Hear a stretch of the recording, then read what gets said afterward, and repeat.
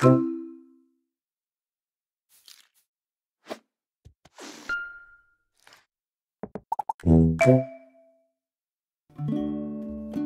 most popular bake of all is a Victoria sandwich.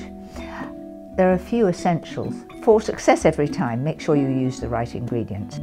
Uh, I use the all-in-one method because that's what I get success with and just beat it enough to keep the ingredients together. Make sure that you've lined the tin on the base so that you get it out and bake it at the right temperature. If you put it in too hot a oven, you'll find that it will dome. If you cook it at 160, that's about right, and it should take between 20 and 30 minutes.